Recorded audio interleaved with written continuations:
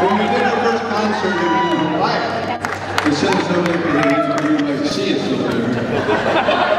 And then we couldn't play with it for that. But we could play. We.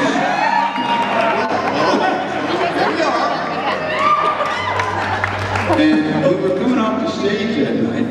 We just, three of us, four of us, and the place was up in smoke. It was like, I don't know, 18,000 people or something. And I've never been around like that. I suppose you have. But like, whoa. And, and so, what you did on Christmas morning when all your relatives were there. It's great.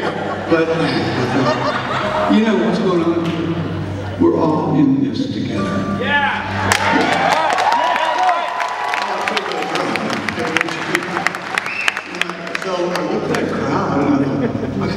song about this. And the song I wrote was, Reason verse some pros lose themselves in other times, and waiting hopes cast silent spells that speak in clouded clues. It cannot be just part of me, it's part of you.